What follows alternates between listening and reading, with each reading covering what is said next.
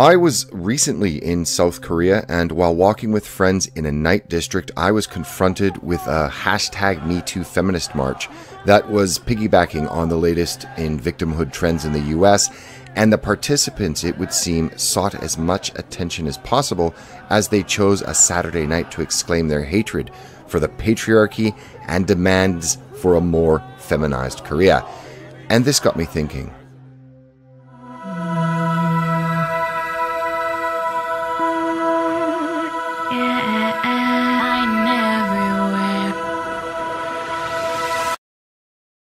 This video is kindly sponsored by Vikings. I really enjoy real-time strategy games. Command & Conquer Zero Hour was my absolute favorite when I was young. Like those games, I want to introduce you to a very cool mobile game that resembles those top RTS games of yesteryear, Vikings War of Clans. You can choose your own gameplay style. Are you a diplomat, a builder, a ruthless warrior? The game has amazing graphics and now has 20 million players, which allows for nation to nation battles. To support BPS and have a great time, please download Vikings using the links below and get your initial protection shield for free and my special bonus of 200 gold for a fast and successful start. Many would say that the current social paradigm now being enacted in the West rests on the axiom that a feminized society that can and should rid itself of what is generally referred to as toxic masculinity is not only desirable and achievable, but inevitable. However, others feel that with the very recent cultural shift that there is now a continual denigration of the masculine in the public space and it is not only fueled by the noxious cocktail of academia and the media, but is solidified in the oft heard mantra emanating from the many disparate groups that seek to dismantle all of the cultural institutions of the West smash the patriarchy. But is patriarchal society this horrible thing that feminists exclaim it to be, or even a necessarily bad thing? Well, it depends on how you look at it, also on whether it matters to you to have a stable society that has the potential for longevity. But in this video, we will examine patriarchy and how it has been a force for social good in human history, and how it will make a resurgence in the West one way or another.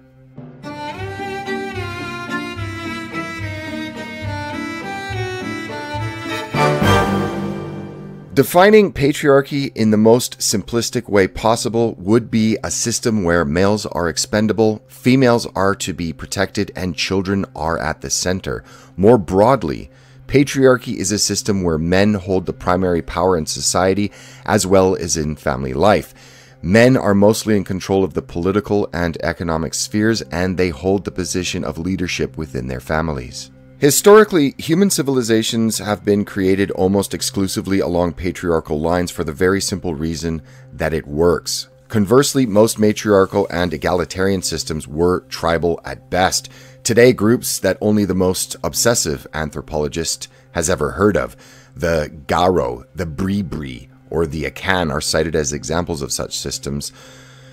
Or feminized societies can also arise coincidentally at the very end of a long and bountiful period in the life cycle of a civilization made strong originally by patriarchal principles, such as we are witnessing today in the modern West. I have spoken on this subject before, and it of course proves to be controversial as well as emotional, mostly to a small subset of women and an even smaller subset of feminized men that see any interaction between the genders as a zero sum game. This video is not for these people, as what you have to understand is that the professionally offended are fanatics. For them, there can be no nuance, there can be no shades. If men and women are not identical, then, as their logic flows, there must be one that is superior and one that is inferior. The entire concept of men and women, as they have lived for the past several thousand years in partnership, is completely lost to those that cannot see past their rabid ideological baggage. What is clear, however, is patriarchal societies encourage men to invest in their families and communities. We know clearly that patriarchal societies are successful as those organized around the principles it espouses family, fertility, and children are the societies that have come to dominate our planet. The civilizations that are rooted in Islam, Christianity, Hinduism, Confucianism, Judaism are all patriarchal. So too are the religious traditions of Sikhism, Shintoism, and Jainism. Even Buddhism, which is packaged for Western audiences as rational, modern, agnostic, and liberal in matters of gender and sexuality, has at its core systematic patriarchal deference, which is traditionally attributed to the Buddha himself. All of these religious and cultural traditions that have been created and nurture the principles within stress the need for female obedience to her husband and, crucially, male responsibility to his family. At the basest level, the health of a tribe or society can really be measured by one thing its position on natalism. Patriarchy is pronatalism as it is centered around children and promotes human reproduction. Now, any culture that organizes itself around anti-natalism is at very best maladaptive. The principles of child-centered, strong, monogamous, heterosexual families has been the building block of every successful society and civilization. To work in opposition to these values as modern feminism does, is hence not only maladaptive, but any society that fails to reproduce itself will in time shuffle its way into the dustbin of history and be inevitably overtaken by another group that is pronatal.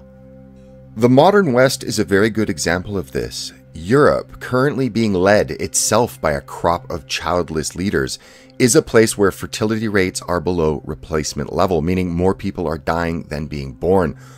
The solution to this predicament has been to import people from radically different cultures, which just so happen to be more patriarchal, to have the children Western women refuse to have themselves.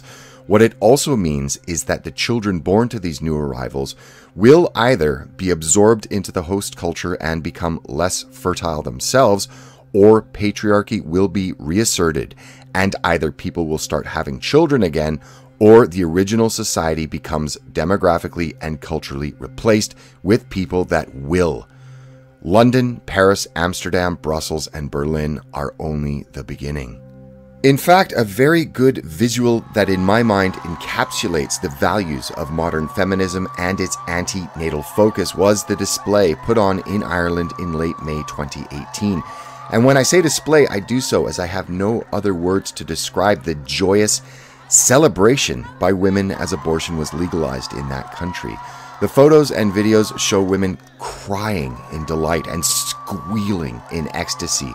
And the atmosphere was more akin to one of fangirls at a rock concert than simply acknowledging that, despite birth control being legal and readily available, the termination of life can now be had on demand.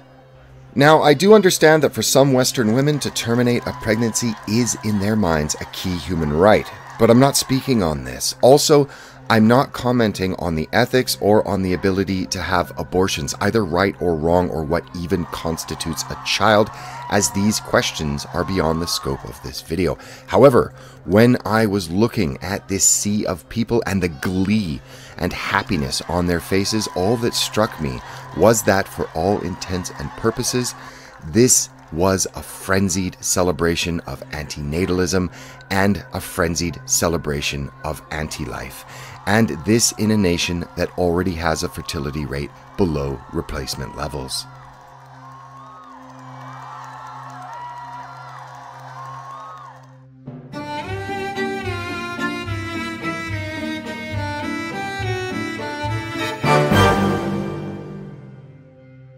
Current push of those that rail against the historical nature of Western civilization as patriarchal advocate for women to abdicate motherhood in favor of career and encourage women to express themselves in sexual ways that mimic men's instinctive reproduction strategies. and then hold slut walks to display their pride at being promiscuous, even though studies have suggested that the more sexual partners a woman has, the more difficult it is for her to create stable relationships later in life. Moreover, there are real and concrete reasons why patriarchal societies have attempted to limit and restrict promiscuity. Historically, without a judicial system that favors women in family law with regards to disposable marriages, a welfare state that can act as a surrogate husband and provider, and of course, the now beloved, celebrated, and cherished ability to terminate pregnancies on demand, promiscuous sex could potentially be catastrophic for women. It was the woman that, minus a husband and provider, that would bear all of the costs of a pregnancy, physically, psychologically, financially, and socially, and none of them to her favor. This is why mate selection was so critical for women and her children's survival. And Either way, the currently celebrated emancipation of women from motherhood and matrimony for a life of promiscuity backed up by the courts, funded by the government, and medically assisted via abortion creates a whole host of other problems at the societal level. And to be clear, this does not mean that women or the feminine are to be equated to the values of feminism and antinatalism, but is in fact the value system propounded by those that protest against the gender and sexual constraints placed on a patriarchal society. It's also of note that in the past several decades, many of the women who have embraced feminism have been later in life cratered, disaffected, childless, and alone owing to their unused wombs. Moreover, since the 1970s, when women were first convinced that career was a better life path than being a mother, well, report after report on the well being, happiness, and feeling of satisfaction in Europe and North American women has plummeted. Perhaps this is why fewer and fewer women openly identify themselves as feminists.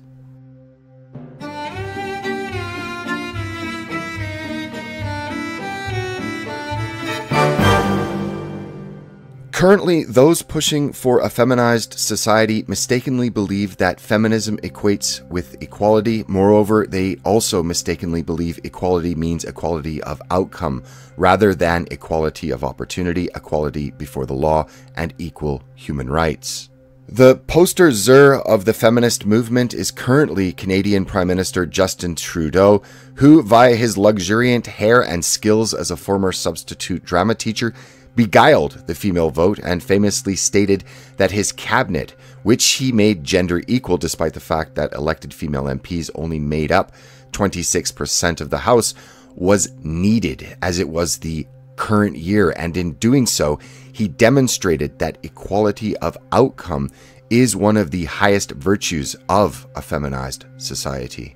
Patriarchal societies have been successful for a host of reasons, including male investment and access to their offspring and the benefits children receive because of it. Society, in turn, is built on the family unit. Patriarchy allows women the freedom to focus on producing and caring for children, and this has and always will benefit a society.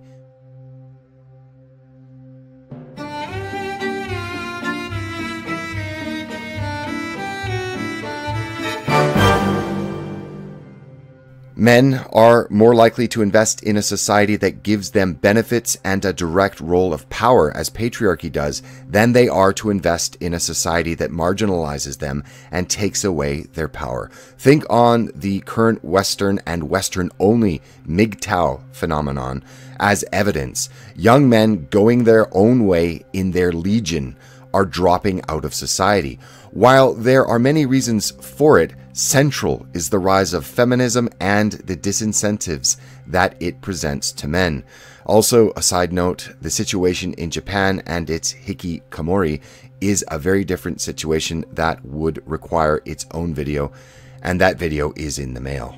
So, while there is no universal system that has no faults, and yes, women, as stated, should have equality of opportunity, equality before the law, and equal human rights, it is a sad fact that sometimes the desires of the individual are not compatible with the needs of the many to have a stable, functioning society in the long run. And yes, late stage capitalism and consumerism all play into low fertility rates, but again, those are topics for another video. All that is clear is that in the grander scheme of things, pro-natalism and patriarchy as a system of human organization works, and feminism and antinatalism does not.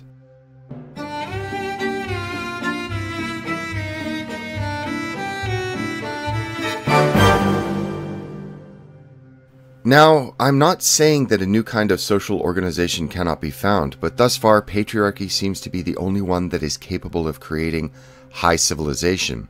Perhaps a middle ground is needed. Some ideas I'll throw out is, of course, that women should continue to have the educational attainment that they already enjoy and stress on women having a choice in the direction her life takes, but perhaps social shifts that celebrate motherhood, especially in the most fertile years of a woman's life cycle, while discouraging the now celebrated extreme promiscuity exemplified by farcical protest movements like slut walks.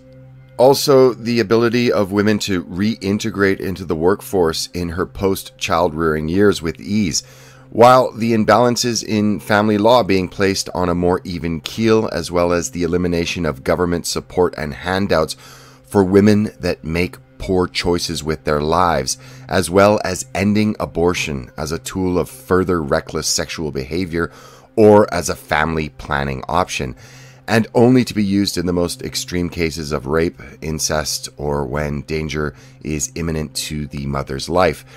I'm only spitballing here. Please feel free to add your own ideas in the comment section below. Because either way, the extreme antinatal experiment currently underway in the West, which is only a few decades old, will not last forever. Perhaps another half century at most, and a patriarchal order will return one way or another. The problem for our daughters and granddaughters is they might not face the benign pre 1970s Western character of patriarchy, but something altogether different that is more extreme, more restrictive, and profoundly more misogynistic. Only time will tell. Tick tock, tick tock. Thanks for watching. If you liked this video, please consider subscribing. Also, please consider visiting my sponsor, Vikings. Links are in the description and try out the game. I liked it, and I have a feeling you will too. Till next time.